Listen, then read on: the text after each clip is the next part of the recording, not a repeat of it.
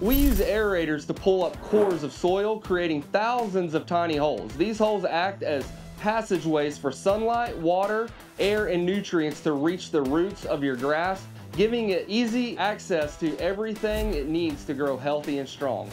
We'll leave the cores on your lawn to break down naturally as they are filled with valuable nutrients that will return to the soil as they decompose. We offer this service from February to May as this is the time of year when your grass will be best equipped to easily bounce back. After our service, you'll notice a greener, stronger lawn that's more resistant to stress. Ready to take advantage of our core aeration service? Give us a call today to sign up.